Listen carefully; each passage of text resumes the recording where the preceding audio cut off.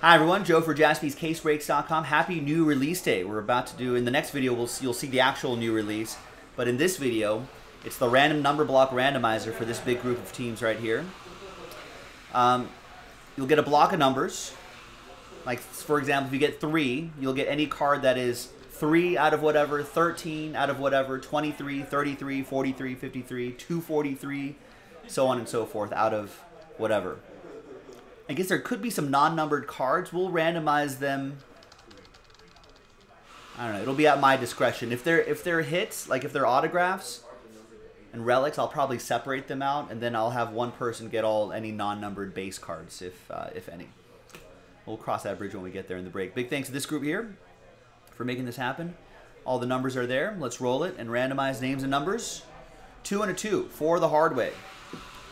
One, two three, and four. We got Josh down to Adam.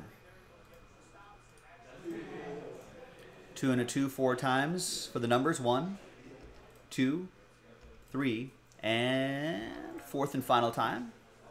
After four, we got one down to six.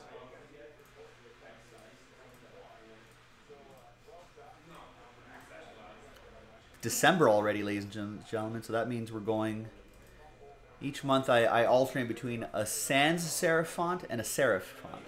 This month we got a we got serif spectral for you uh, font fans out there. Josh with one and nine, Sefkia with three, Adam with two, Mark with five, Fred with zero. So Fred, you'll get any and all uh, redemptions for that group of teams on that bottom on, on the tab down there, including one of one redemptions. Josh, you'll still get live one of ones per the item description.